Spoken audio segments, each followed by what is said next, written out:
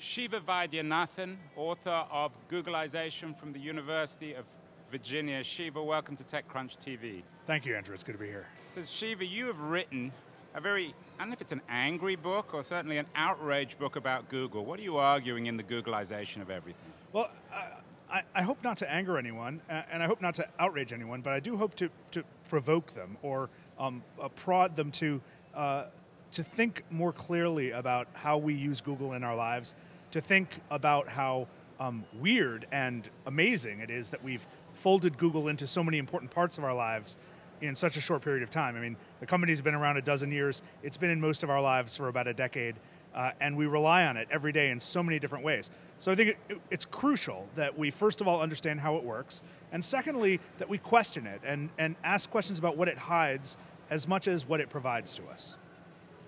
What does it hide? Well, remember, Google's real value to us is not so much in what it links us to, but in what it conceals in the process of exploring the web.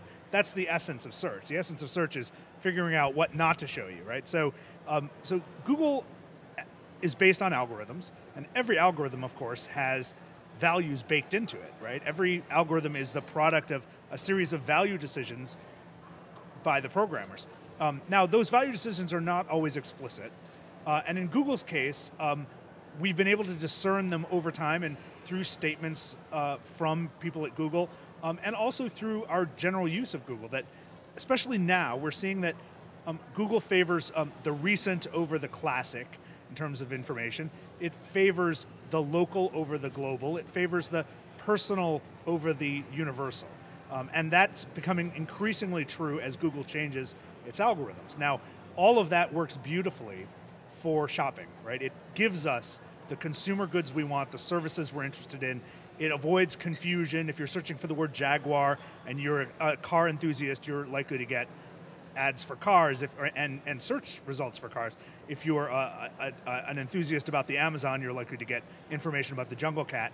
Uh, and, and, and those sorts of basic tweaks make a lot of sense for most of the searches we do, which are really about consumption. What I want people to think about is the fact that as Google changes to become better for shopping, it, it doesn't necessarily serve our goals for learning as well as we might hope. We've had a very good run for about a decade in which one company has served us really well in both areas. I'm concerned that that's not going to be the situation in the future, and if that's the case, um, we should probably explore better models, different models, newer models uh, to, to facilitate our needs as, as citizens, as, uh, as, as, uh, as parents, uh, as people who have to navigate the world through these information worlds. In the Googlization of everything, you compare Google to having the power of Caesar. What do you mean by that? And ah. should we be really worried? Okay, but the domain in this case, right? Caesar Caesar ruled an empire, but in the, the domain I'm talking about here is the World Wide Web, right? So uh, uh, Google essentially runs the web for us. It is uh, the the ruler who assumed power in a in a vacuum, right? Before Google stepped forth, before we essentially agreed to let Google mold the web experience for us. Uh, the web was a confusing place, an unmanageable place, an ungovernable place, and the assumption was it would never be governed.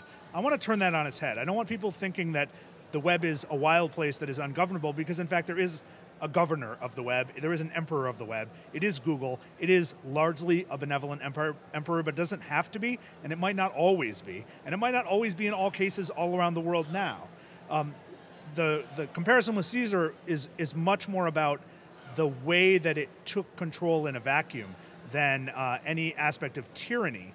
Um, what tyranny there is doesn't really hurt people, right? The way that a real life dictator does. Um, so again, it's a provocative notion, but I want people to grasp the idea that the web is not ungoverned nor ungovernable.